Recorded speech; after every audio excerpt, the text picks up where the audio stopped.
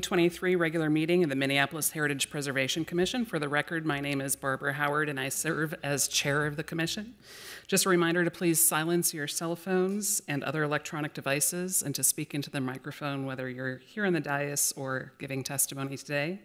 Would the clerk please call the roll so that we may verify the presence of a quorum? Commissioner Bjornberg is absent. Commissioner Booty, Present. Dreyer, Present. Chair Howard, Present. Malblum is absent. Nystrom, Present. Vice Chair Sambolt, Present. Maston, Present.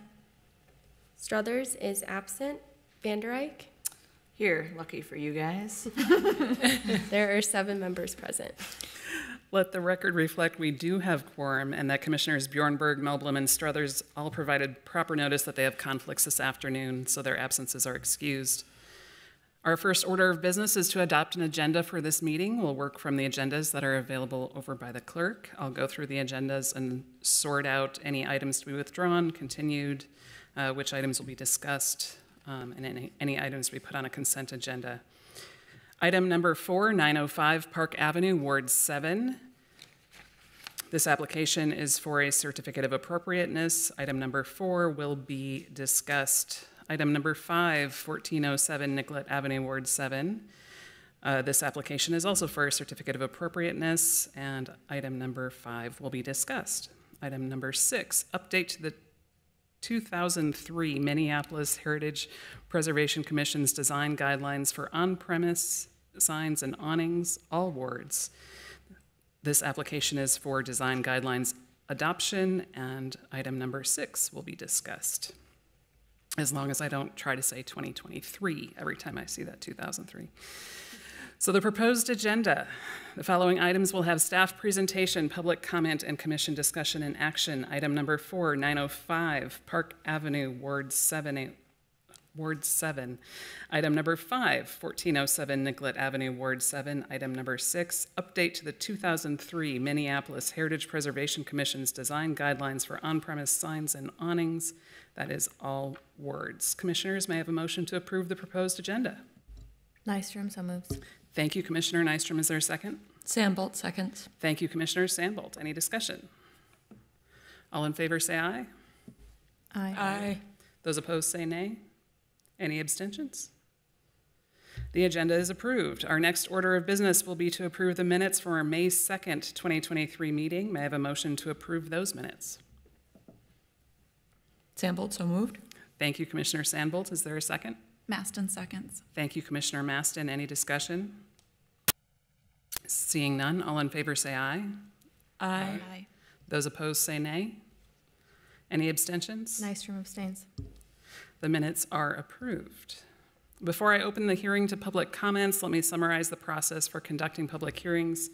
Uh, we will take each of the agenda items in order. Planning staff present it- the report and commissioners ask questions of staff. Then I'll open the public hearing and we'll hear from the applicant and commissioners may ask questions of the applicant. After that, we'll invite other public comment. If you wish to speak, you need to do two things. Be sure to sign in on the sheet over by the clerk. If you haven't done this already, you can also do that afterward. When you come up to testify, be sure to state your name and address for the record. And please keep your comments specific to the application that's before us today. If you happen to have materials to hand out, also hand those to the clerk so that they can be distributed to the commission and also entered into the public record. Uh, do not approach the commissioners on the dais. After public comments are complete, I'll close the hearing and commissioners will deliberate and act on the applications before us. So let's get started. Our first item, item number four, 905 Park Avenue, Ward 7. Application is for a certificate of appropriateness. The staff report is presented by Erin Kay. Go ahead. Good afternoon, Chair Howard and Commissioners. My name is Erin Kay, and I'm a city planner in the Historic Preservation subsection of the Department of Community Planning and Economic Development, or CPED. I'm here today to present a certificate of appropriateness application for the property located at 905 Park Avenue South in the 9th Street South Historic District. Staff have not received any public correspondence related to this project. The subject property, historically known as Kvoltson Electric, is located at 905 Park Avenue South. It was designed by Thorshov and Cerny, built in 1957, and is a non-contributing resource to the 9th Street South Historic District. The west elevation is shown here in the bottom left corner of the slide. The applicant is proposing several exterior alterations, including replacement of the main entrance bay on the west elevation, updates to the roof, and changes to fenestration on the rear. Starting with the main entrance bay, the applicant proposes to replace the aluminum framed windows and door in kind. The applicant has indicated that the current door is not secure and the windows are only single pane, which affects temperature control. The glass is also cracked, as shown here on the right side. The proposed replacement will be double pane. This circa 1970 photograph shows that the original main entrance bay featured the door at the left end, as it remains today, and two windows to the right. And by circa 1980, the bay was divided into three windows, as it remains today.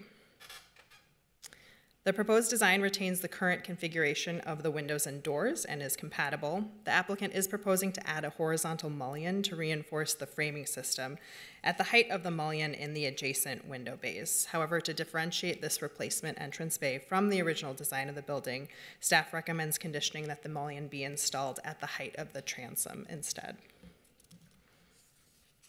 On the roof, the applicant proposes to remove the existing skylights, which date from circa 2003 to 2006 and are deteriorating, patch the roof deck and recover it with a new EPDM roofing membrane, replace the existing rooftop mechanical units, add an elevator overrun that will be one foot 10 inches tall, and add a solar panel array, which is depicted by the blue rectangles on this aerial image.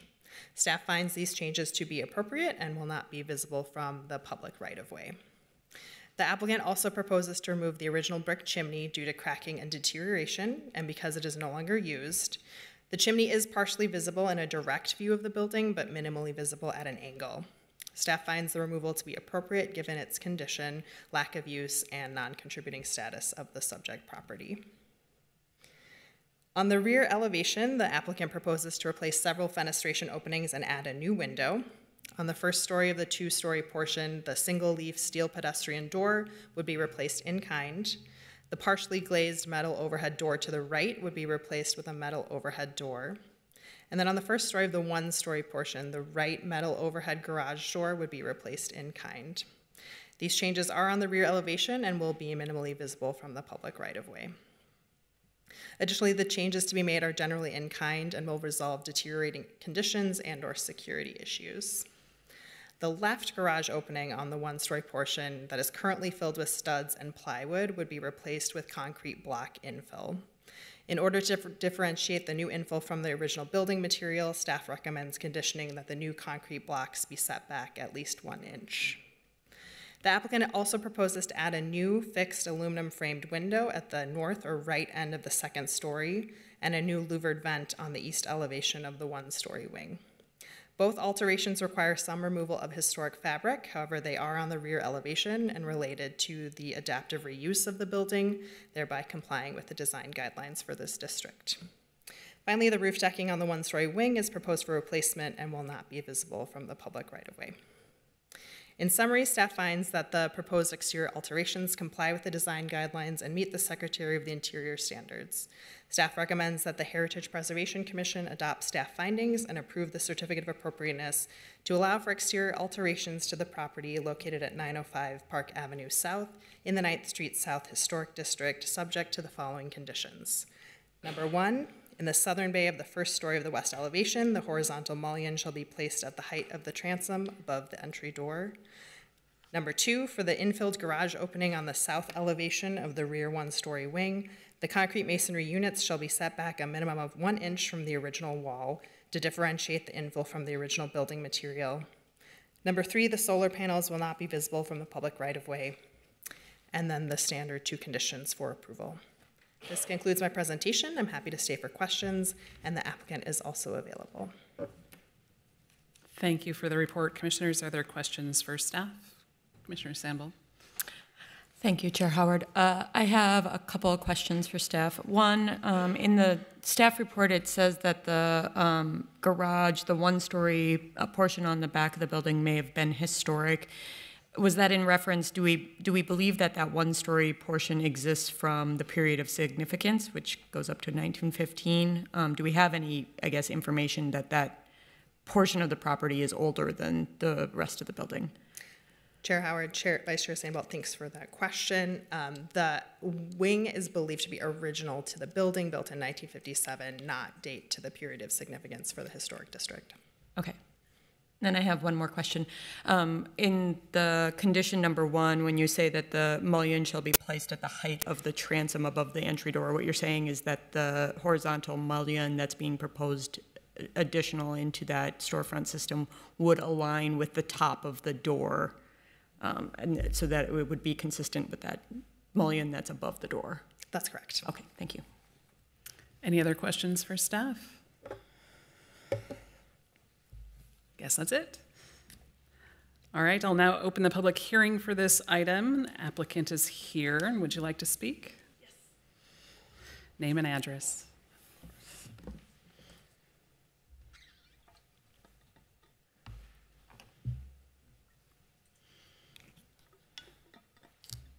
All right, Commission. I'm Rachel Peterson with Hess Roise and Company. We're at 100 North First Street here in Minneapolis. Um, I'm here to provide mostly a project update, and then we have a request for you. But um, our intent with this project was to have it on the consent agenda today, and then our project team was made aware yesterday um, that the proposed CMU infill in this bay had already been constructed, um, which was news to us. Um, and you know, misunderstanding about what what uh, required HPC review um, on the, the part of the property manager, and also there have been some security issues with this wood infill. Uh, there have been several break-ins to the building uh, over the winter and in the past couple of months, and so um, the contractor went a little bit rogue and built the CMU infill wall, built it flush with the facade, um, the plane of the facade, and so because that is contrary to um, the condition recommended by staff that we were prepared to accept, we thought we should come in and discuss this with you all today. Um, so here's what that wall currently looks like. Um, and I just wanted to point out to you a couple of things as you consider this. Um, the header across this opening is brick, and there's also a uh, metal lintel that runs across the top of that opening that differentiate it from the concrete block infill. Um, the, the jamb to the right of the infilled opening is also a smooth concrete, so we've got some additional differentiation there. And I've got a closer up photo of that. So that's all to say that this opening and its dimension will still be legible as is, even with the, the facade being repainted as proposed, um, but currently does not have that additional reveal that was conditioned. Um, This is, you know, it's a reversible infill, this, um, this alteration that has happened. It, it can be removed. Um, and I also wanted to, to emphasize that this is the rear facade of a non-contributing resource in a historic district. Um, it is really not visible from the street. I included some additional photos here. On the left, you can see from the, the primary facade along Park Avenue and even from the alleyway in the back. This is pretty tucked in. Um, to the L of the building and is not particularly visible. So our request is that we strike that condition requiring the reveal um, if it's amenable to you and allow this wall to remain as it is. Um, it is a cost concern for the owners to take it down and rebuild it. Um, I'm here for questions. We also have two of the project architects here for questions if you have any concerns or uh, questions about why they designed it to be flush to begin with. But um, any questions? Thank you for your comments. Any questions from commissioners? Commissioner Sandville? Do you have concerns with the other two conditions that uh, staff has recommended? No. Nope. Thank you. Any other questions for the applicants? I don't see any. Thank you. Are there any other members of the public who wish to speak for or against this application? Seeing none, I'll close the public hearing. Commissioners, let's discuss. Commissioner Sample. I do all the talking. Um, considering that the back portion of the building, the one story is, you know, it's a, it, the whole structure is a non-contributing structure and that the back portion is not visible from the street and the public right away, I really don't, um, have any concerns with the infill as done. Obviously, we don't like to see work done before we approve, but I understand sometimes things happen. Um, so I think I'm, I'm perfectly fine with uh, kind of striking that second condition. Um, So I'm going to go ahead and make a motion that we approve um, the certificate of appropriateness with um, the conditions one, three, four, and five as listed in our agenda and striking condition number two. Thank you, Commissioner Sambolt. Is there a second? Nystrom seconds. Thank you, Commissioner Nystrom. Any further discussion? Seeing none, please call the roll. Commissioner Booty, Aye. Chair Howard, Aye. Commissioner Dreyer, Aye. Maston, Aye. Nystrom, Aye. Vice Chair Sandbolt, Aye. Vander Eyck. Aye. There are seven ayes. Thank you. That motion passes.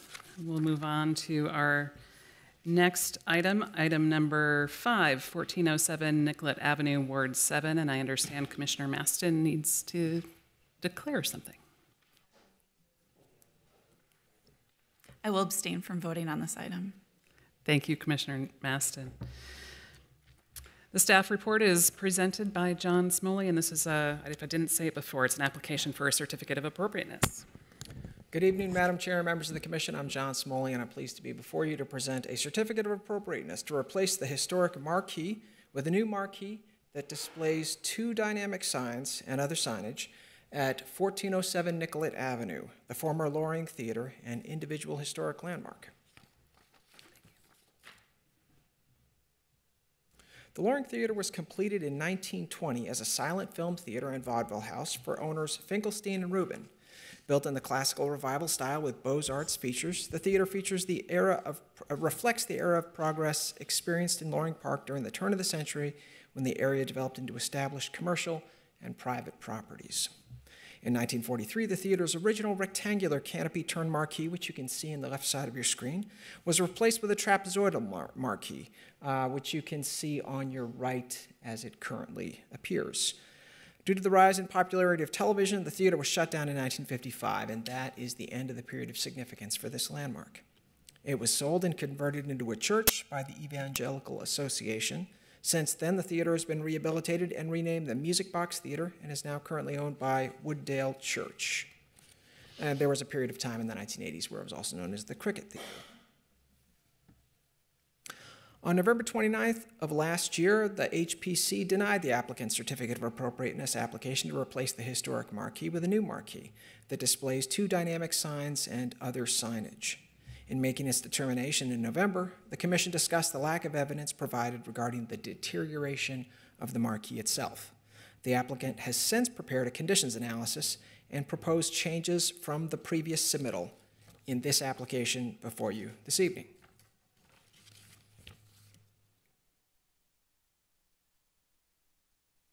I'm going to begin by describing the current proposal to you. Then I'll describe how the current application differs from the one you reviewed in November of last year. The applicant's current proposal is to replace the historic trapezoidal painted steel sheet metal marquee that you can see. Oh, I'm sorry, this is, uh, let me go back one slide.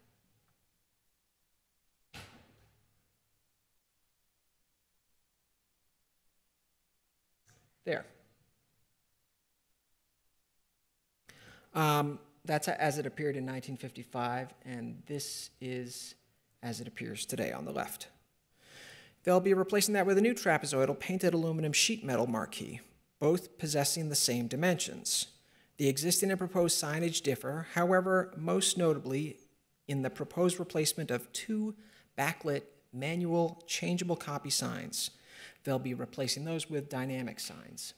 And you can see on the left those backlit changeable copy signs in white, and on the right, the um, two signs on the side of the trapezoid that um, depict um, McPowell and the Family Reunion as just an example of what might appear on those dynamic signs, which can change electronically. A dynamic sign is defined as a sign or any element of a sign which provides the ability to change text or images or exhibit changing effects in order to provide intermittent illumination or the illusion of such illumination, or any series of imagery or display which may appear to move or change, including changes produced by any electronic method.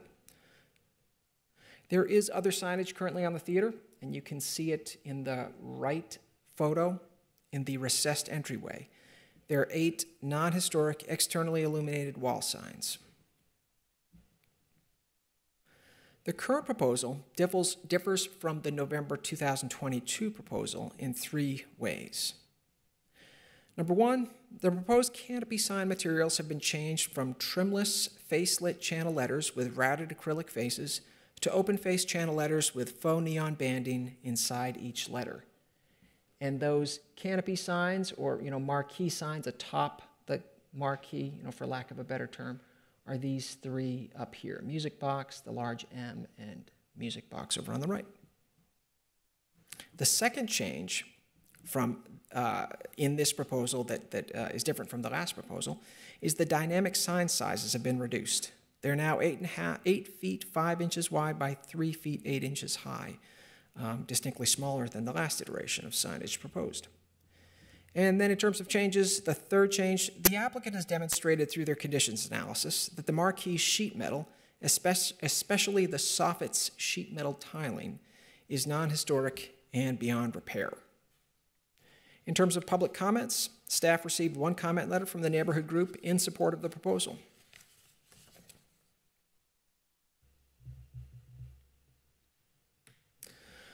Photographic evidence indicates that only two of the four steel cables that held up the original 1920 theater canopy turned marquee remain. You can see the four cables there and the two cables that are remaining here. The applicant proposes to preserve only these elements along with two cantilever joists which are not visible. They're set inside the marquee itself.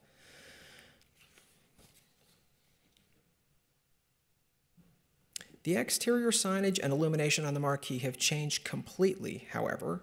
However, the form of the marquee remains. White backlit sign panels have, replaced, have been replaced. Framing for the backlit sign panels possessing a 6 by 7 configuration in 1955, which you can see on the left, was replaced with a similar panel with framing in an 8 by 7 configuration in the 1970s, which you can see on your right. Many small bare bulbs that once projected from the soffit of the canopy, which you can see on your left. Uh, they're a little indistinct there, but your staff report packet has a, a closer uh, photo. Um, those bare bulbs were replaced by 1970 with a smaller amount of larger inset lights, which you can see here in the soffit of the canopy and in today's canopy as well in neon the music box signs, which you can see here, were placed atop two sides of the marquee in 1993, which replaced neon channel lit letters that read Loring in 1955, which you can see in the photo on the left. Uh, bare bulbs mounted around the rectangular panels, which you can see here, are also from the 90s. Here you can see the uh, theater in the 1980s when it was named the Cricket Theater, and you can see the marquee from the theater in the 1980s. Diagonally arranged lettering on the front fascia of the marquee was replaced by 1970 with a white backlit sign panel with framing for clip-in letters. Then it was replaced again between July of 2021 and October of 2022 with a black backlit sign panel for Wooddale Church and this is the marquee's present condition, as you can see on the right.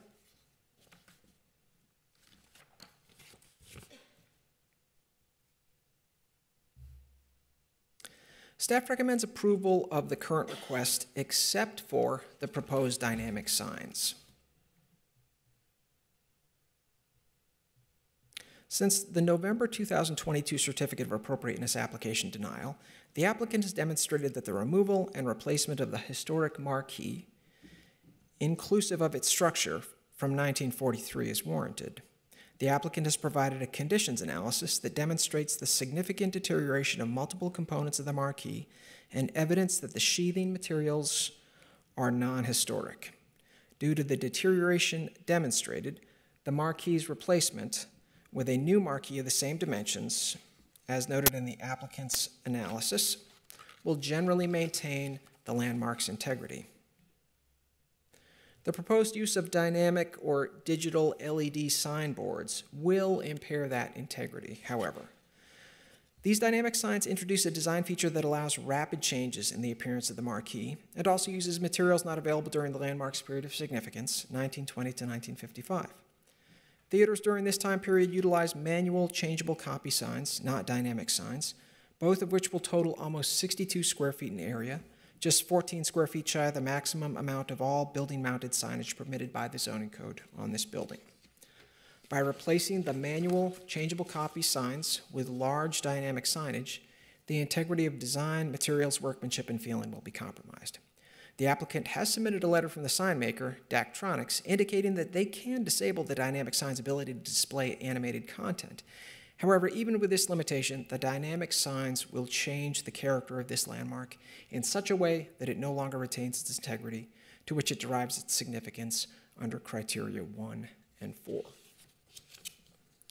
For this reason, CPED recommends the Heritage Preservation Commission approve the certificate of appropriateness to replace the historic marquee with a new marquee that displays two dynamic signs and other signage, subject to the conditions of approval listed in the staff report, which again notes that we recommend denial of the dynamic sign request.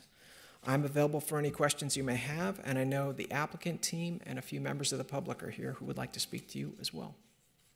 Thank you for the report. Commissioners, are there questions for staff? I'm not seeing any. Thank you. I will now open the public hearing for this item. The applicant is here and would like to speak. Be sure to state your name and address for the record.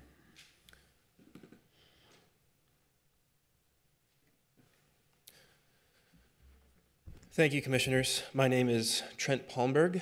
Uh, I am with 1407 Nicollet Avenue, the Music Box Theater in Wooddale Church. I'm also a resident of Minneapolis with my wife and our son, Finn, who is now one year old. I know when I came last time, we had just a newborn, but he's somehow one year old uh, already. We live at 4619 Oakland Avenue on the south side. First of all, I want to thank you for your service of uh, this city by being on the Historic Preservation Committee. This is an important task that you have, and it means a lot to me personally because I love this, the, the history of this city. I mean, this room itself was designed by the same architects that designed the Loring Theater, which is now the Music Box Theater. The historic integrity of this property matters. It matters to me personally. Minneapolis is home to me. I'm a graduate of the Blake School right across the park in Kenwood, and now I've given my life to community development and managing this historic theater in the Loring Park neighborhood and the Loring Park community.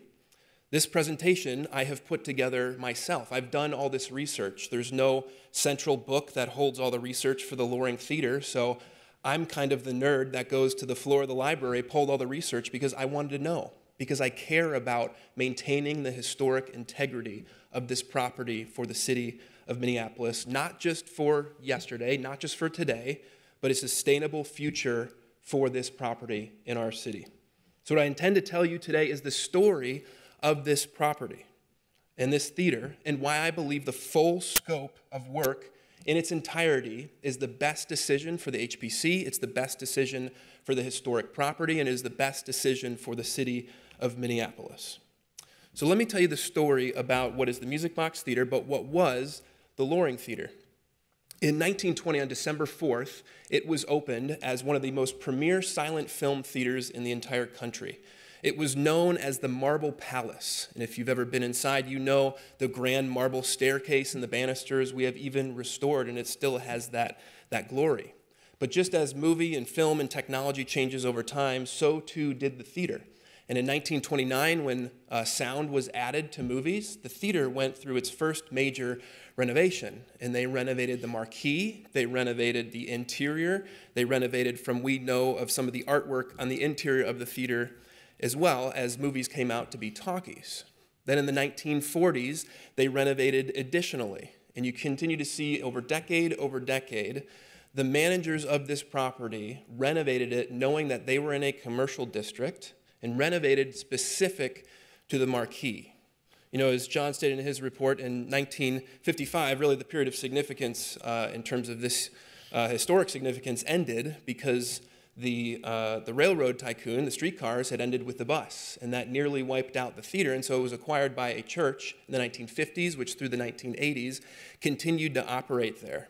That church, from the best that we know of record, also modified the marquee into the 1970s, which, as the staff report correctly notes, changed everything uh, about it, including that manual copy sign was changed as well. Into the 1990s, in 1991, it was designated as the facade being a historic landmark. And then, as the city report correctly shows, uh, the staff report, in 1993, it was changed again by an owner that is not Wooddale Church, by an owner by the name of Gary Kurt, and added the neon lights, changed the marquee again, added coloring. And so, what we came in when we acquired the property in 2018 was a marquee that had been completely changed but also, I noticed it had been completely changed since its inception in 1920. I mean, when you look at the record of this marquee, notice that in 1920, they have this flat top marquee with what I think must have been the latest technology at the time. They had these two signs on the sides that faced north and south, and one sandwich board out front that just being the manager now, I assume there was some kind of strong wind that came through and probably blew those down off of the top of the marquee because you don't see them anymore when 10 years later they renovated the entire thing. And I noticed as they renovated, they added on height and they added on more places for dynamic messaging. That's what dynamic means. Dynamic just means changing. It's a dynamic sign now. Dynamic signage is what we aim to preserve with this update to the Music Box Theater. You can see that they could put letters on the top now. Now they could put letters facing north and south. And I don't think they could fit any more posters or anything on the outside of this theater. It was a vaudeville show, there was multiple shows. 20 cents anytime you could see a show there. And it seemed that they were doing more messaging to continue to use the theater as a community asset. Into the 1950s, we know that this was renovated again. And like the staff showed, two of those cantilever, jo cantilever joists were removed, and then it became this, this three-sided shape. But if you notice, the very front of it, they wanted to preserve to be the iconic branding of the theater, so that people going there and people in the community would know what theater that was. It says Loring across the front. And then on the sides, there's these real cool Hollywood kind of channel letters that they put on top of it to show that it was the Loring Theater as well. And as you can see from the nighttime photograph, those lit up. In fact, the entire underside of it lit up with incandescent bulbs as well. If you notice even what they were doing at the theater, it was a community event. It was a cooking class. They wanted to continually use this marquee to let people in the community know what was happening and make it an asset to the neighborhood in a commercial district. Now, we don't have a ton of record on this, but we know that it was changed in the 1970s. I find it interesting, we don't have a single photo from the 1970s or 80s where any channel letters were ever up on this marquee. From my experience, it's because they don't work. The letters fall off. When you have to put them on manually and a wind comes through, they fall off. In the Minnesota winters, in the freeze thaw temperatures, they warp.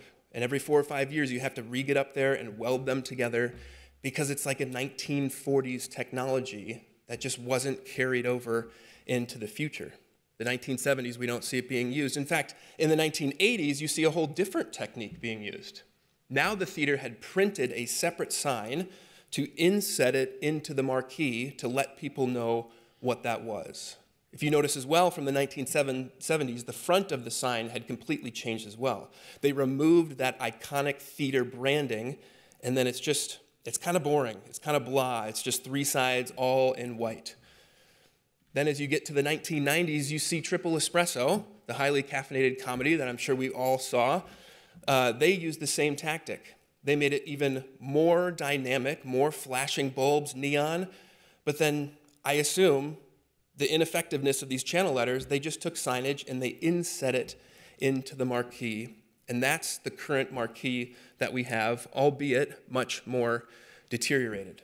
I won't go through these slides again because uh, they are the same from the architecture report from Miller Dunwiddie that we already have, so I won't waste time on that. But they found conclusively, which I know was the point of contention at the November hearing, that all of the material up there, save the two I-beams that it gets mounted onto, jutting out from the, from the building, and the two cantilever joists, we intend to keep. We intend to preserve those as we build and restore the new marquee, but everything else they have found to be sufficiently deteriorated so that it cannot be restored.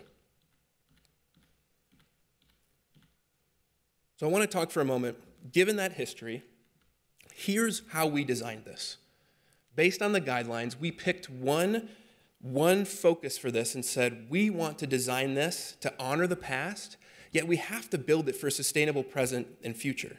And so we chose that iconic design from the 1940s or 50s, whenever they updated that, and we wanted to bring it into today. And so what we did is we brought back the iconic front of it so people knowing what the theater would be. So it says Music Box Theater on the front of it. We brought back those big Hollywood channel letter uh, name of the theater on the sides. We're keeping the name Music Box as it's been there since the 1980s. But as I'll talk about more, we had to choose materials and design with an eye of being good city residents, really good global residents as well. We have to choose sustainable materials that align with the city's 2040 plan, that align with the Loring Park master plan as well. We did not want to design this in a bubble. So we got a lot of public feedback about this as well. We engaged Albrecht Sign Company and we said, how do we design this to honor the past we want to preserve the history, but how do we do that in such a way that this theater thrives and is preserved for generations to come? And so this is the design that we really came up with. As you see on the left, that is the what we were aiming for in terms of the design features, and on the right, that's what we produced. The iconic branding in the front, the channel letters on top, and then these dynamic signs, again, which means changing. What's unique about these is that they are digital. They are LED. And I know the staff report says they have limitless functionality, which, as the theater manager, I think that might be a little dramatic. They show color photos, and they are very controlled and can have limits placed on them as well. Some of the reason that we did that, that I want to talk through. We wanted to design a marquee with a similar look and feel knowing that there aren't going to be materials available from the 1950s, and some of the materials from the 1950s would not be wise to design with or to build with for our modern city and being in a commercial district. We really wanted to have a marquee that honored the past, that allows for ease of communication. Notice how in every decade they change the marquee for more communication, for more community engagement. They built on, they built up. If anything, it's less than probably what they would say if they were before you from the 1950s. And lastly, environmental sustainability is very important for us. I don't know if you've been getting all the alerts like I do every morning about air quality alerts. This is a real deal. Global warming is real, and we need to design with an eye to that. One of the reasons we like these digital marquee displays is because they will reduce the environmental footprint by up to 70%. That is a goal of the city's 2040 plan. That is a goal of the Loring Park master plan. And it is a goal that we have, not as just a historic property owner, we really see ourselves as a historic property steward. And this is a wise decision that we want to make. But it's certainly not a decision that we're making on our own. There are precedents all over the United States that this is the direction it's moving in because it's wise for the property, it is wise for the city, and it's really wise for being global citizens in what's happening in our world with the environmental stakes. The Palace Theater is in St. Paul. You may know this story, but if you don't, the Palace Theater needed to get renovated. And so it was actually public money that renovated this and it's been an amazing turnaround at the Palace Theater. I don't know if you've ever seen a show there, but it's an amazing property. And with public money, they redid the historic marquee and they implemented a digital screen, which is right in, in the center. These screens as I'll explain, have a lot of functionality to where you notice it doesn't look like Times Square, which I think maybe could be a fear that the staff report would try to project that they are rapidly changing and it's going to look like Times Square. That's not how these work. They function just like your smartphone, just like an iPhone or an Android phone. When you're out in the bright, it will automatically adjust. If it's dark, you can adjust it up. These are all settings that can be maintained within city policy. The palace was renovated, and they specifically chose to include a digital message board. And that is in St. Paul. You know, another story is the Lebowsky Center in Owosso, Michigan. They have a very uh, similar story, except theirs is much more tragic of their marquee. It burned down, and so they needed to figure out how they were going to replace it, and they did it with one of these signs. One of the cool things about it is you can make these look like the old time. Even it says software allows it to be programmed with lettering and copies the original marquee's look and feel. This is one of the benefits of being able to leverage digital technology to get its benefits, yet preserve the history of this. And this theater has been completely revamped and restored in the commercial district of this town. These marquees are not like the ones you see at a gas station. I remember the first time I heard about this, I said, I, I don't think we want that at the theater if this is just going to look like what you see at like a holiday gas station. They are much more advanced than that. You know, the billboards that you may see on the highway, the one we've proposed to put in on our marquee is twice the pixel density. That's twice the resolution. So it's not even like you're looking at a digital screen, it just blends into what you project onto it. And we want to make that investment to have a good quality screen. You know, we could talk about the Embassy Theater in Fort Wayne, Indiana. We could talk about the Fillmore Theater in Detroit, Michigan, a very similar story. The Lebowsky Center again in Michigan. The Capri Theater. This is even happening in Minneapolis. They were redesigning their marquee and they have digital messaging boards for the different community events that they do.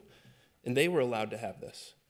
It's the Uptown Theater in Kansas City, Kansas. You know, I, I, could have put in 50 more slides. Every major city, these are being implemented because it's a wise decision to preserve history, yet build it for a sustainable future so that historic properties can be properly and effectively maintained, but then they can be there for generations to come. And that's, that's our heart in stewarding this property. In light of this, I want to summarize why I sincerely believe that the full scope of this design, including the digital reader boards, is the best decision that the Historic Preservation Commission could make. It's in the best interest of the city of Minneapolis and really of our broader world with what's going on. I want to introduce to you seven considerations that I'd like you to make before public comment and as you deliberate. First, please consider the historic consistency of use of this property. History shows the Music Box marquee was consistently updated every decade for more messaging, for something that was more attractive, for something that was, had more modern technology from its period of historical significance from 1920 to 1955. The guidelines from the Secretary of the Interior state, quote, a property will be used as it was historically. A dynamic message center is historic. We are preserving the historic nature of this marquee to inform the community about what's happening in the theater and to do it in a way that is safe and sustainable. I would agree with the city report and their conclusions if, and only if, a marquee from the 1920s, a marquee from the 1930s, or even the 40s would have been preserved over these generations. But we see the complete opposite. We see the marquee as supporting what was happening at the historic theater. You know that it's even been updated after it has been designated a historic landmark in the 1990s.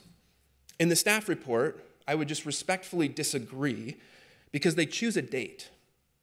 And they make the assertion that the 1943 marquee was not the original marquee built with the theater in 1920. However, it has acquired significance of its own right by telling the evolution and development of this theater from silent film to full color motion pictures.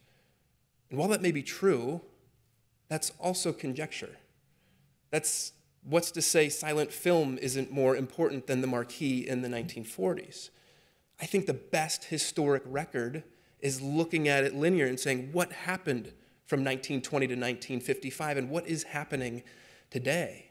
It's one of the most amazing things about the historic record of this theater is that 103 years later, it is still a community asset. It is still being used as a mixed use space for the city of Minneapolis and for its neighborhood. That's what truly makes it great. Simply put, the theater was not built to support its marquee. The marquee always enhanced the historic nature of the theater. And as the guidelines state, quote, replacement of a deteriorated exterior sign shall be designed in the spirit of the original concept. And I genuinely believe that's what the full scope of this project does. Second, I'd ask for you to consider the marketplace competition.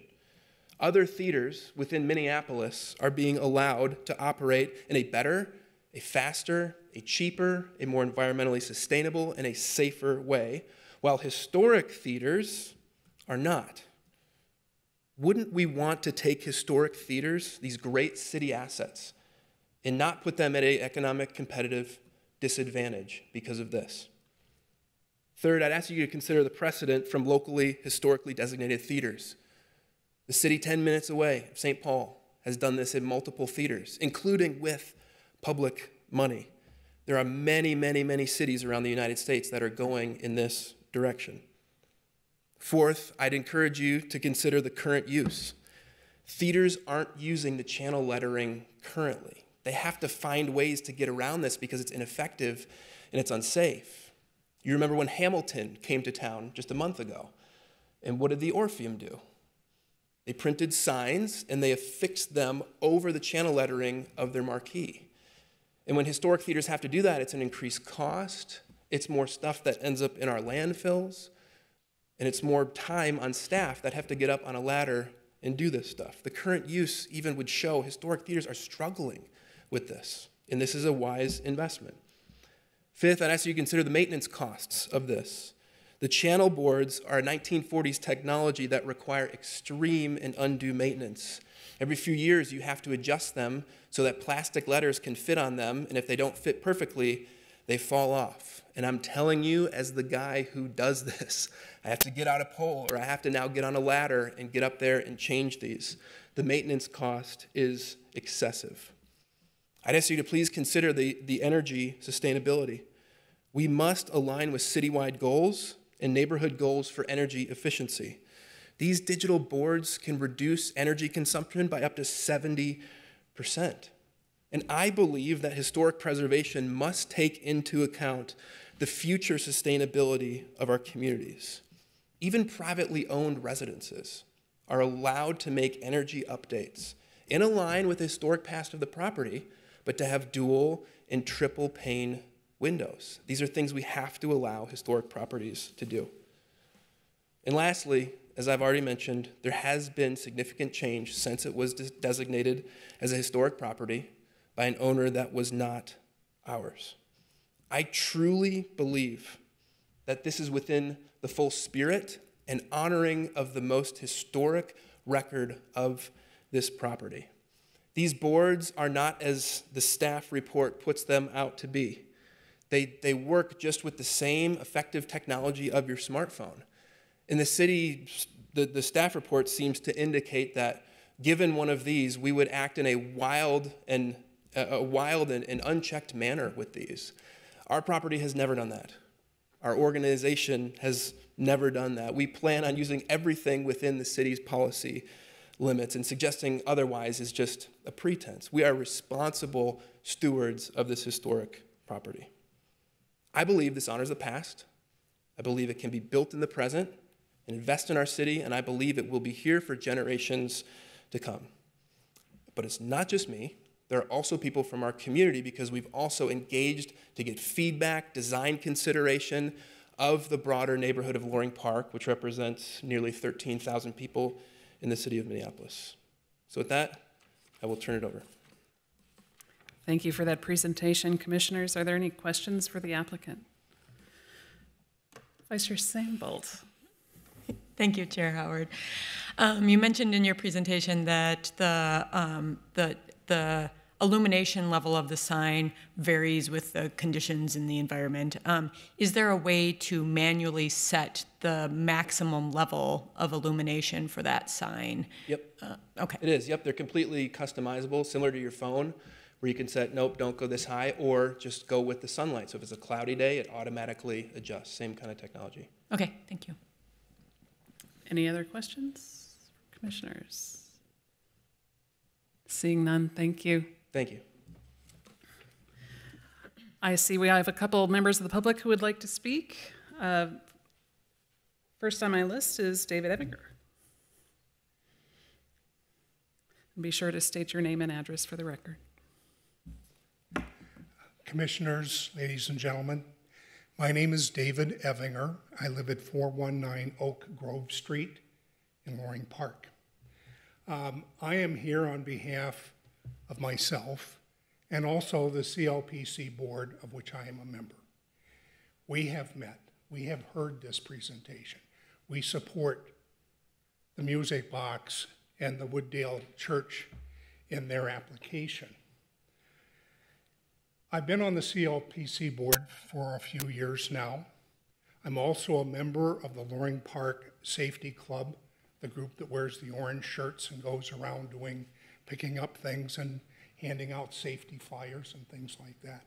We go by the music box all the time. It's important to us. I'm also a member of the Nicollet Avenue Safety Coalition. This facility is on a part of Nicollet Mall that is challenging. Their presence there, their involvement with our community is so important to us. And we totally support what they are doing. As I mentioned, I'm a property owner at 419 Oak Grove. That is also known as the Daniel B. Lyon House, an 1892 Minneapolis landmark. So historical properties are important to me. I remember working with John Smoley on that project years ago.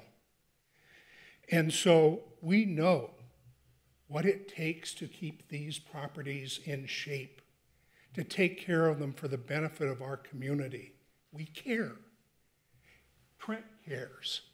The Wooddale Church and the Music Box really, really care.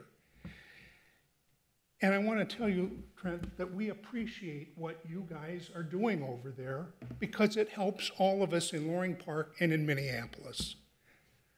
This is a good thing. I'm sorry that we disagree with the HPC this time, but we have really good reasons for what we're doing here. Now, let's get down to the part of this that's really important, and that is we're talking about the marquee and that front signage. As you've heard, there have been multiple, multiple changes over the decades for virtually 100 years. It is constantly being brought up to speed with what is right for our community. That's been its hallmark. Not that it's caught and stuck at one point in time. There have been changes that are significant. You've seen some of them. It might be hard to just look at the photograph and pick it all up. When you go there and look at it, you can really see the style has changed, the shapes have changed, the colors have changed, the materials have changed, the types of the lettering have changed, and the type of lighting has changed. So this application includes the LED lightings and that computer generated lettering. That's how I would phrase it, but I know you have more technical terms. Let me tell you, I was at a community gathering in the Loring Park Pavilion just a few weeks ago, where the four candidates for the seventh ward, because you know we're going to have a, a new city council person from the seventh ward. And there was a gathering, and the four candidates were there, and they were questioned by the community and by a panel. And what was it about? Environmental concerns in Loring Park and in the seventh ward, and the importance of LED modern lighting, and how much it helps our community to have that. Loring Park, this whole community is concerned about it. That whole session with the four people running for the council position we're all talking about it. It's important. So, let me raise one other thing. And this is personal. And that has to do with one of the things we did as we were fixing up the Daniel B. Lyon House, 1892. All single pane windows, when we got it, all failing. You couldn't open them. You couldn't work them. They weren't efficient. We got Marvin. We worked with, with Dr. Smoley. Marvin came in, figured out what they looked like at the time, and we redid the whole, all the windows. Huge cost. We put in triple pane windows. They were single pane windows to start. Do you think we would have even asked to use single pane windows or that we would be asked to use single pane windows? No.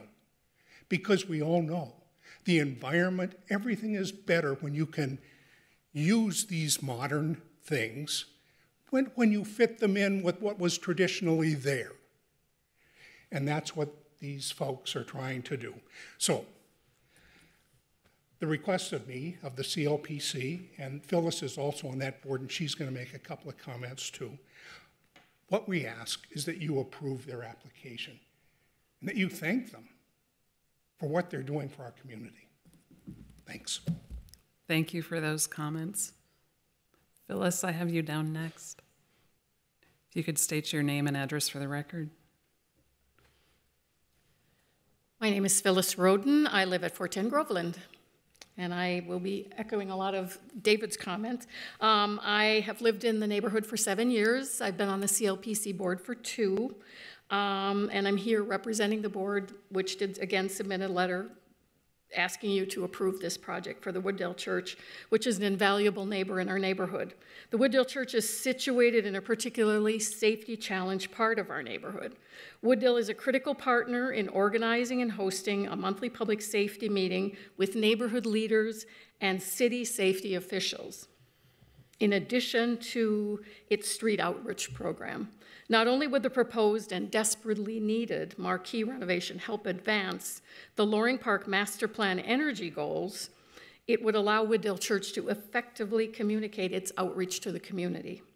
Along with the replacement of our 50-year-old streetlights this summer with LED lighting, um, this project, if approved as proposed, would be one more step toward the city's energy reduction goals in addition to being a show of support for Wooddale Church and its value to our neighborhood. Thank you very much. Are there any others who wish to speak either for or against the application? Seeing none, I'll close the public hearing. Commissioners, let's discuss. Are there any concerns or comments on the proposed application? And I, I would like to take a minute and say thank you for everything that you're doing for the Music Box. I ushed there many, many, many times back when it was Triple Espresso's uh, home. So I and I used to live in Loring, Loring Park. So um, it's really part of my history in Minneapolis. And so thank you for all you're doing. Um, thoughts on the proposal before us?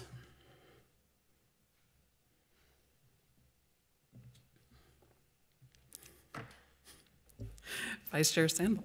Well, shall I kick us off?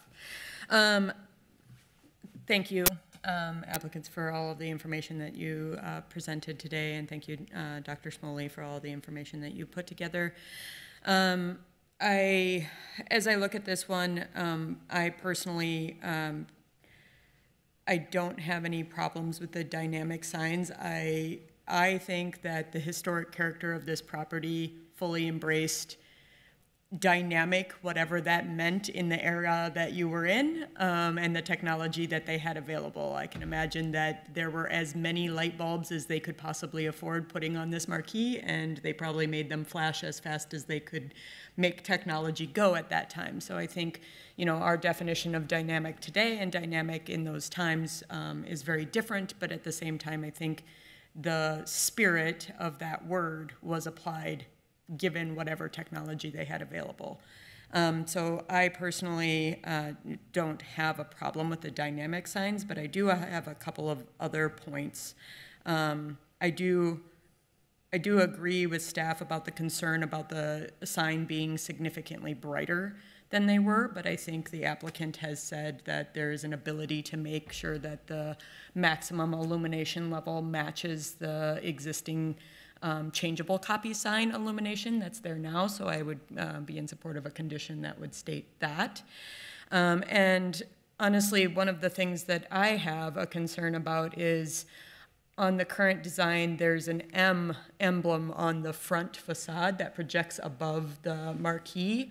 And for some reason, that has always struck me as something that is um, very unique to the current design and isn't in replication of anything that was historic. And so personally, I would like to see that, that um, M actually eliminated from the design, but I, I have no concerns on, on the other portions of the design as proposed. So um, would like to hear other thoughts um, before I get into um, my recommended motion. Commissioner Nystrom? I tend to agree with Commissioner Sambolt um, about the definition of dynamic, and thank you for a very thorough presentation. Um, and I also find that with the idea of like climate change in a way, I get that piece of it. Um, but the only issue I have is then what precedent is this setting for other like theaters that will come forward with this? Are we going to then have to continually approve this dynamic version of signage? And I don't know if that's a question for just us internally or staff, but I, I agree though that it would be nice to have. Yeah, I think you, I think you make a good point, Commissioner Nystrom, and, and something that I've been struggling with. Um, you know, we have in our new design guidelines that we're about to talk about next, no dynamic signs. Um, and I think that uh, whatever we do with this will factor into that conversation. Um, I think the difference here is that we, we have a theater. Um, it's not a, it's a theater marquee. So that's a difference from the other signage that we often see coming in. So there might be some things we could talk about related to that. Um, so yeah, I, I understand. Commissioner Vander Eyck.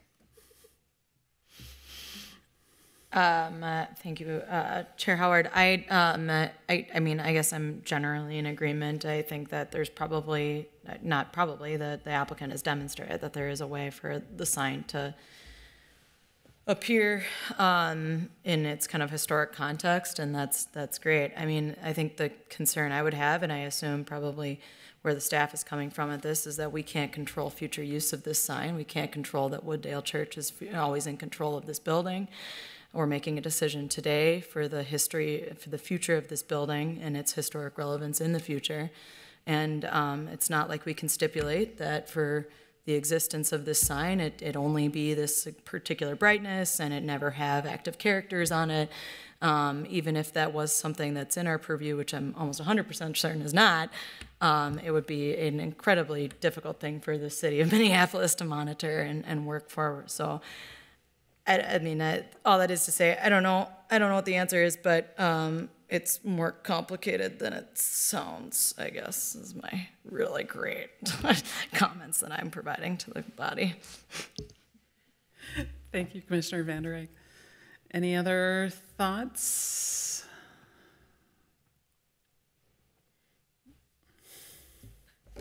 Vice Chair Sample. Um, I first have a couple of comments um, in, in, response to Commissioner Vander Eyck's uh, comments. I, I do believe that you know we can put some parameters out there for the the dynamic sign. I mean, similar to how we would put um, regulations on any property or any um, you know any conditions that we prescribe. I agree. Enforcing some rules is harder than others, but uh, that being said, I I do think that we have some ability and with that, I'm just going to dive right into um, making a recommended motion. so you can hear my uh, recommended conditions and, and voice agreement, disagreement, or comments. Um, so my recommended motion would be to approve the certificate of appropriateness um, as listed in our agenda and striking condition number one, um, but adding a condition that would say that the M logo projecting above the front face of the marquee shall be eliminated from the design. And a second condition that the dynamic sign's maximum illumination levels shall be set to match the illumination level of the existing changeable copy signs. I welcome any feedback. Thank you, Vice Chair Sandbold. Is there a second? We can discuss further if there's a second.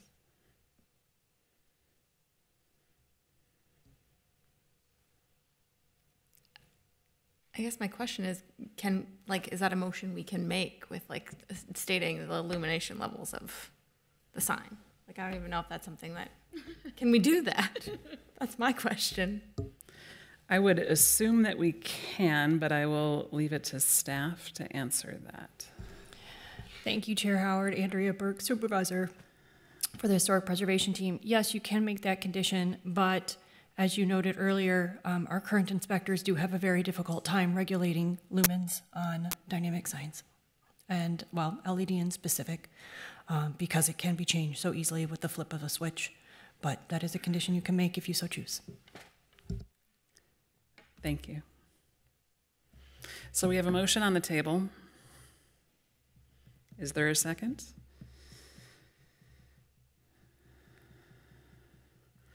If there isn't a second, we would uh, need to withdraw that motion?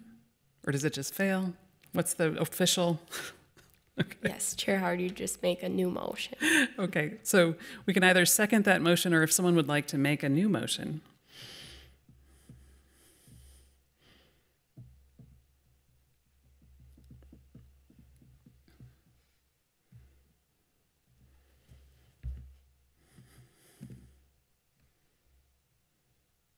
Do we need to discuss some more? Is the, is the, what's troubling us the, let's start with the, the M, um, since there were two parts.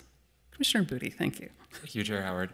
Um, sorry, I was just That's okay. scrolling through the application here to find the picture I was looking for. Um, so I, I will say I don't have as much of an issue with the M per se. Um, so that was my hesitation seconding the mes- uh, Okay. the the motion, um, and I would didn't have a lot to add to what it was said earlier with uh, um, dynamic signs in general. Um, tend to agree with what it was said. So um, I'll make another motion uh, to uh, see if uh, others would be interested in uh, approving the certificate of appropriateness to replace the historic marquee uh, with a new marquee that displays uh, two dynamic signs on the other signage at 1407 Nicollet Avenue, um, the former Loring Theater, um, subject to the following conditions, striking the uh, condition number one as written in the today's agenda, and adding the condition that uh, Commissioner Sandbold wrote, the, that uh, the dynamic sign's maximum illumination level shall be set to match the illumination level of the existing changeable copy signs. Thank you, Commissioner Booty. Is there a second?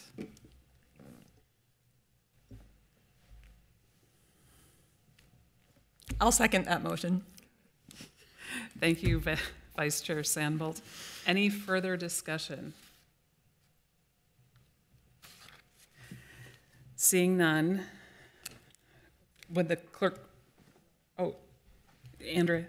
Forgive me, I just want to, Andrea, Burke, I just want to clarify the motion, Chair Howard, to make sure that um, Commissioner Booty's restated motion was basically not enacting the, le- not going forward with the M logo, but still keeping the illumination.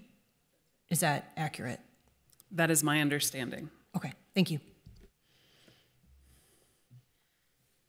Okay, so we have a motion and a second. If the uh, clerk could please call a roll. Commissioner Booty, Aye. Chair Howard, Aye. Dreyer, Nay. Maston, Abstain. Nystrom, Aye. Vice Chair Sample, Aye. Commissioner Vander Eyck. Aye. Okay, there are five ayes, one nay, and one abstention. Thank you. The motion passes.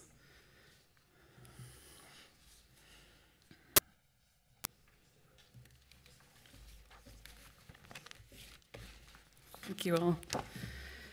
We'll move on to our last item.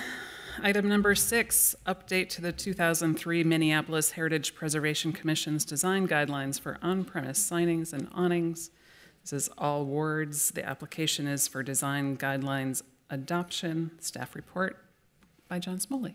Good evening, Madam Chair and- Commissioners. Once again, my name is John Smoley, and I'm pleased to be here to brief you on the update to the 2003 Minneapolis HPC's design guidelines for on-premise signs and awnings. The Minneapolis Heritage Preservation Commission's design guidelines for on-premise signs and awnings regulate signs and awnings within the boundaries of locally designated properties throughout the city. They work in conjunction with our zoning code, where the most restrictive provision applies. The guidelines aim to be transparent and easy to administer. Proposals that meet these guidelines are processed as certificates of no change, and requests for exceptions require a certificate of appropriateness. Almost all historic districts defer to these design guidelines in terms of sign and awning standards. Since their adoption in 2003, the HPC's guidelines for on-premise signs and awnings have remained unchanged, though our zoning code standards have relaxed. They've relaxed regulation of sign types, heights, sizes, materials, methods of illumination, and messages. HPC decisions regarding signs and awnings have typically followed suit through the Certificate of Appropriateness and Historic Variance processes. This update that you have before you proposes to codify such trends, further streamlining the development review process while still reserving the right of property owners to request the HPC grant reasonable exceptions to these standards. Relaxing the HPC sign standards appears appropriate in CPED staff's opinion. Signage for both advertising and identification was very prolific during all of our landmarks and historic districts periods of significance. Here you can see an example of uh, Murray's as it stands today and uh, how it looked back uh, mid-century. The updated design guidelines streamline development review by eliminating guidelines related to rarely enforced standards, such as regulations regarding sign message, parking lot signage, real estate sign location, master sign plan requirements, and wall signs two foot height maximum. They also eliminate guidelines related to exceptions frequently approved by the HPC and Certificate of Appropriateness applications, such as sign height, number of signs, both by type and on their own, sign area, numbers of illuminated signs, and prohibitions against canopy signs. These proposed guidelines also eliminate redundant standards already regulated by the zoning code, such as allowed sign types, banner sign standards, and project information sign size and location standards. The updated guidelines incorporate additional sections on canopy signs, dynamic signs, and murals, as well as a pictorial glossary to help visually identify the different sign types across the city. Staff is also recommending the title of the guidelines be changed to the term premises, plural, to reflect updated zoning code text, so they will read uh, the design guidelines for on premises signs and awnings if you adopt them as proposed. The guidelines incorporate HPC conceptual guidance provided at your retreat this past June, as well as, I'm, I'm sorry, June 30th, 2022, as well as HPC feedback on the draft reviewed and discussed at the HPC meeting on January 31st of this year to include ensuring the terms shall and should are used interchangeably, I'm sorry, intentionally and appropriately, substituting the term character defining features for architectural features, minimizing conflicts between these guidelines and the zoning code, and revising acceptable projecting sign materials to be less specific to match the way freestanding signs are treated. In terms of review and comment, SHPO is recommending adoption of these guidelines, and your CPED staff is too. I'm available for any questions you may have. Thank you for that Thank you for that report, Dr. Smoley. Commissioners, are there questions for staff?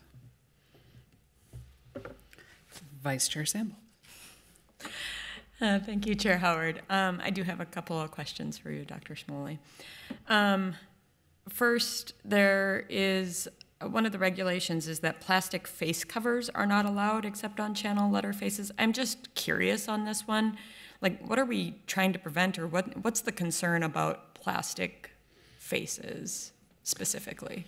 Madam Chair, Commissioner Sandoval, I was not here in 2003 for the um, writing of these current guidelines here. My understanding, however, is that plastic face covers are less durable, they're more easily broken, and they're, the way the plastic can be molded is a bit, um, the appearance differs, it, it, it, appears a bit lower quality than, say, um, channel cut um, or channel letters or, say, um, um, letters, you know, cut through an aluminum, a flat aluminum face with sort of some push through acrylic. Um, I think it's both a durability and an aesthetic intent. Okay. Um, I did have another kind of comment was that um, one of the regulations is that banners and awning signs shall never be illuminated.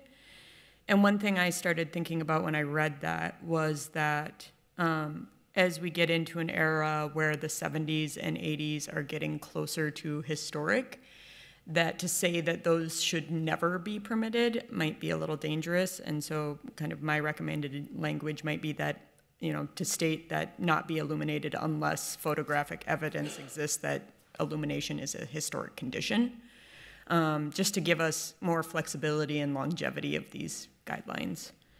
Um, similarly, and based on our conversation that we just had a minute ago, was the dynamic signs. Um, you know, with the regulation in here says dy dynamic signs and dynamic changeable copy signs are not permitted.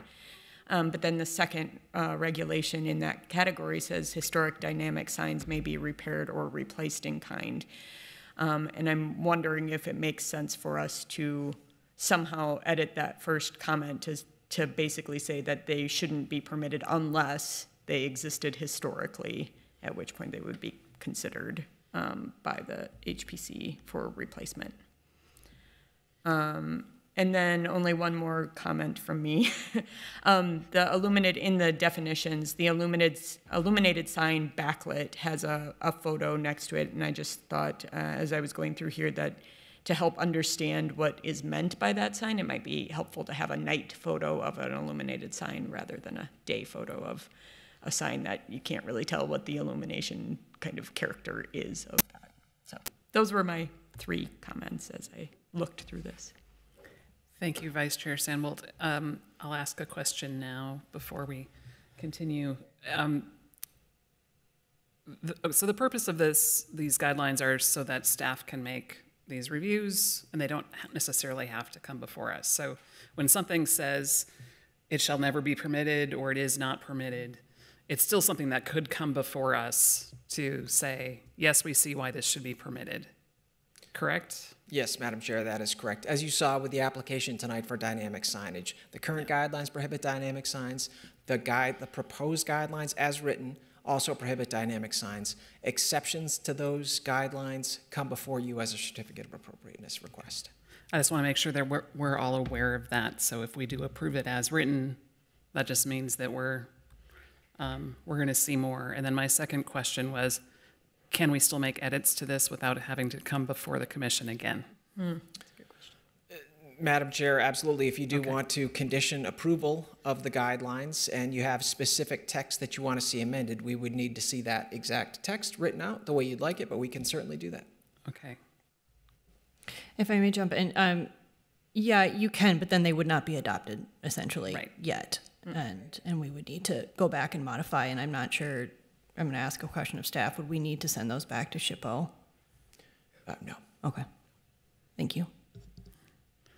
Thank you. Commissioner Vander Eyck. Well, with that, I think uh, based on the dialogue earlier about the um, dynamic sign, whatever that means, but um, the um, the perhaps there's a different treatment of theater marquees um, versus like you know because if the idea with like that digital boards we don't want digital boards on um, like everyday signs and awnings, but like that uh, uh, theater marquee, which is not a uh, not a, a, a, common occurrence, maybe has a little bit more flexibility in in a digital marquees. Was my comment. Um, just just a reminder, yeah. we're still in questions for staff. So if you have questions for staff. Yeah, so that was that would be my question. Would be like, is that is that something that would be um, that we could um, tweak to that specific the same item that Commissioner Sandbolt brought up uh, relative to the um, digital board or whatever it's called. uh, Chair Howard, Commissioner Vander Eyck, we can certainly you know make amendments to the document. Um, yeah.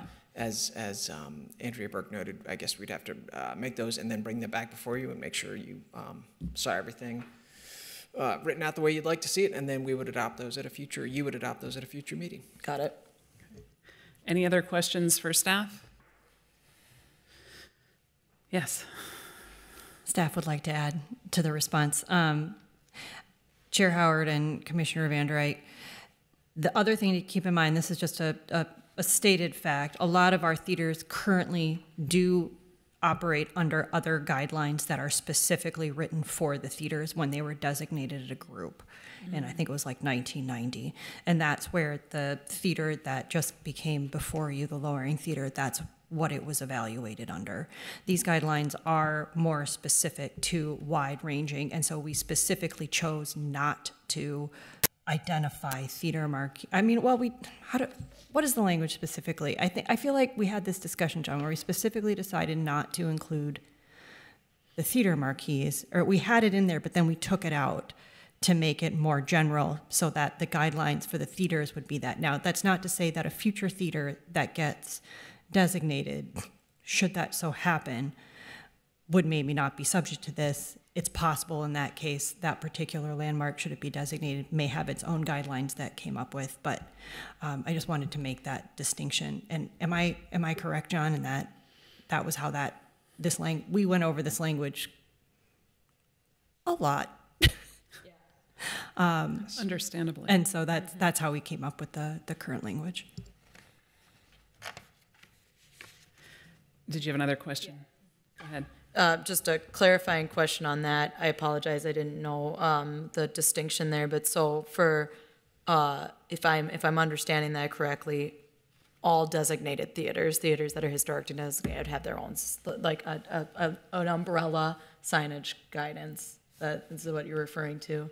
That would be more specific to that particular use? Well, Chair Howard and Commissioner Van Dyke, the theaters that were designated Yeah. specifically under these, under this particular resolution. Got. Got some specific guidelines that went with them at the time. Got it. Um, so it's the Loring Theater, it's the, I'm Got it. blanking on the other ones. Avalon, Avalon, Hollywood. Hollywood. There was five or six, actually, I think five of them. Granada. Yeah, Ah, that all came through, and so all of those guidelines apply, and it sort of says that at the beginning of those guidelines, that, that those particular theaters apply. It's not all theaters, um, Right. but yeah. Yeah, I think that, so in response to that, um, Chair, um, Dr. Smoley, that, um, I was fine with these signage guidelines before. I was happy to come here and approve them. I just, this, this conversation has brought up another, um, topic that I may, it concerns me. I don't, um, I want to make things easier for all of us. I want to make things easier for you guys to approve, um, and for our applicants to navigate this process. And so I wonder if there, if that would make sense. That was why I brought the question forward, so. Any other questions for staff? Okay, thank you. I will now open the public hearing for this item. Are there any members of the public who wish to speak for or against these guidelines? Thank you. Thank you. Seeing none, I'll close the public hearing. Okay, now we can formally discuss. Commissioner Vander Eyck. So, like I said, I, um, I, I, I believe that Dr. Smoley has done a, a lot of really wonderful work. I'm pretty sure his doctorate is in signage at this point. Um, um, on, Didn't know you got a second degree. yeah, on uh, on this stuff. So I feel um, in support, and the last thing I want to do is is send the staff home with more homework. Um, but I do want to feel comfortable that we've got because our guidelines are what we utilize, and they don't get updated very often, as we can clearly see. Um, so I want to make sure that we think deeply about the implications of them, and um, and this this dialogue on on the Loring Theater gave us that opportunity to do so. So I'm not saying one way or the other. I'm interested to hear the rest of the commission's feedback on it, but I think that it's worth noting and worth having the discussion. Thank you, Commissioner Vander Eyck. Other thoughts?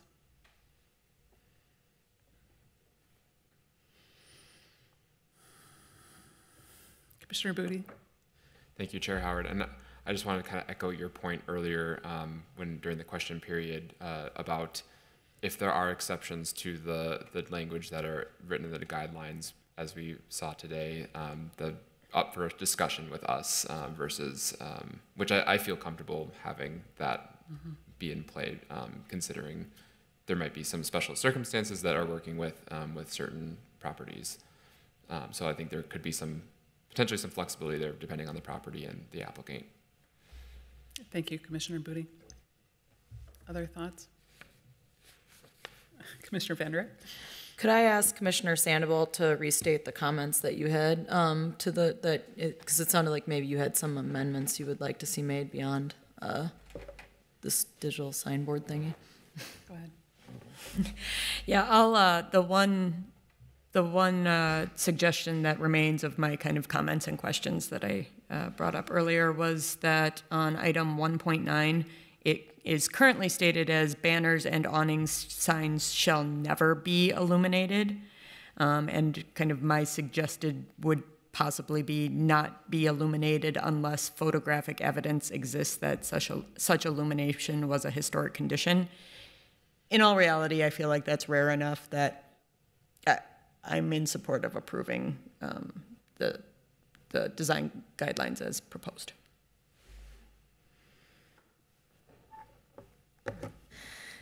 Um, all right, yeah, so I agree. I think that um, that makes a lot of sense. I, I, agree with your point, and I agree that we can find a way to work with our applicants on that. Um, and and furthermore, to the point that of the dialogue we had today, like obviously we've got some sense of overlapping design guidelines and and uh, zoning ordinances and all this stuff, and to some extent, it's a reality of the fact that some of this stuff is going to come in conflict with one another. So we will have to have these kind of conversations.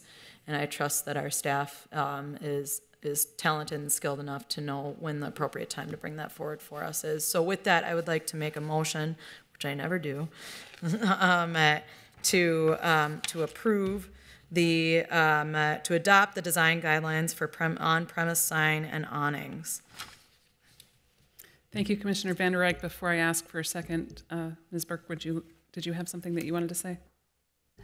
Yeah, Chair Howard, I, I, I was just going to kind of reiterate the sentiment that essentially, as you stated, Chair Howard, these have greatly given more administrative approval authority to staff and have taken away more C of A's from you.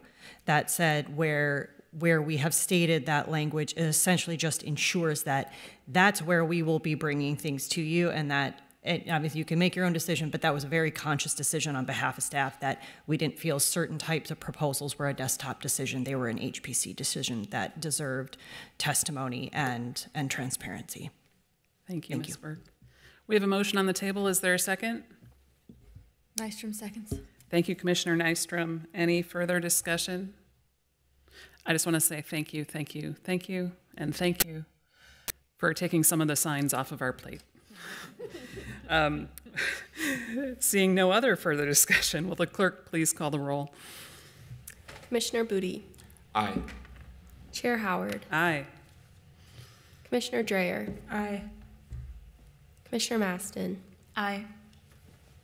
Commissioner Nystrom. Aye. Vice Chair Sambolt.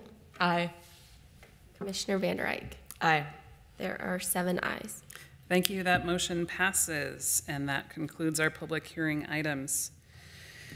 Do commissioners or staff have any announcements or commission business to discuss? And I'll start with staff. Ms. Burke. Thank you, Chair Howard. Um, I do. I would mention that earlier this afternoon, the commutator project did uh, go to Biz on appeal for two conditions. Um, conditions one and two, I don't expect you to remember those, but they largely had to do with the entrance, and that appeal to strike those conditions was approved by the Biz committee. So it will next go to council for final approval. Um, the Washburn Fair Oaks Design Guidelines update. I'm going to cough one moment.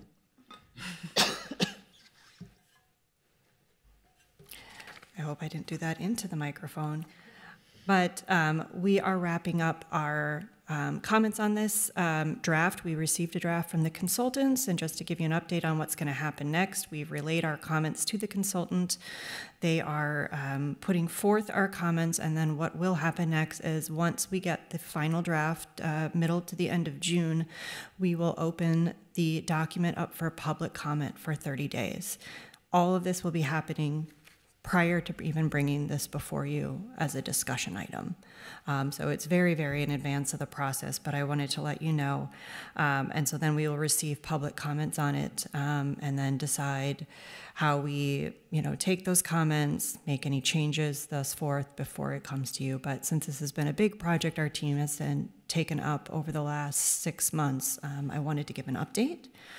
Um, and then also the Community Connections Conference is this Saturday from not nine o'clock to, is it three o'clock? Three o'clock um, over at the convention center. So I encourage you to stop by. Aaron um, from our team and Rob from our team will be manning our booth, staffing our booth, and they will be um, talking about our program as well as some of the work on the African American Cultural Heritage Action Fund grant. Those are all my updates. Thank you. Thank you very much. Anyone else? All right. With that, we have completed all items on the agenda for this meeting. I will ask members and staff once more if there are any other matters to come before the commission. There being no other business to come before this meeting, and without objection, I will declare this meeting adjourned. The next regular meeting of the Heritage Preservation Commission is June 20th, 2023. Thank you all.